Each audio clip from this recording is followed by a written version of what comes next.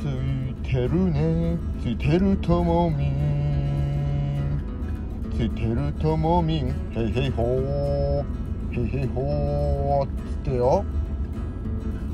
すごいですね。ついてるともみんよ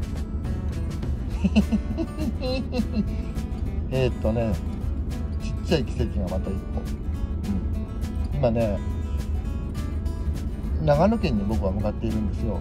で一般の国道を走ってきてねこの先の高速のインターから乗ってそろっていけばもうあと1時間半ぐらい着くんでしばしここで休憩なんですがここね最後のちょうどね山の頂上のにあるコンビニなんですけどね。ここねいつもガラガラなんですけど今日ねあの大型トラック止めるとこね全部埋まってたんですよ。うわ止めらんねえじゃんっつってマジか激戦区だなと思ってね。ああと思って中入ってきてとりあえずあの一番隅行こうかなと思ってたらねなんと1台出て行ってくれたんですよ。しかもね一番端っこの一番止めやすいとこ一番道路沿いの一番調子いいとこ。すごくないですかこれ。僕が入ってきたタイミングで出ていくっていうねこれ。これを奇跡と呼ばず何て呼ぶええ考えようによっちゃ、ね、たまたまでしょとかって言うかもしれないけどそのたまたまだって自分の人生で起きてることは偶然はないからね。全部必然なんですよ。自分がシナリオを組んできてるんだからもともとまたねそういう賛否両論があるような話をするからね。ああ。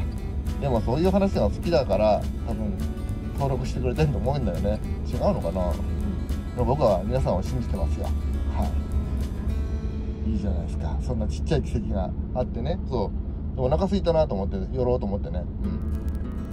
うん。行っちゃってね高速乗っちゃってもいいんですけど。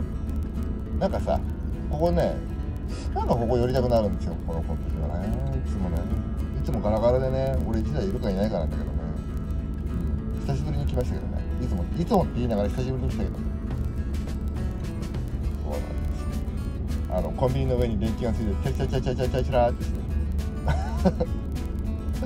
なんか懐かしい感じの、うん、雰囲気のとこなんですけどここいいですよはいで今からちょっとご飯を食べて少しゆっくりしようかなと思いますねええうんちょっと一回寝て起きて出発かな全然ねもうあとだって1時間ちょこちょこでしょうんさっきねスタンドでお風呂も入っちゃったしもうね全然寝るだけですどっちか言うと。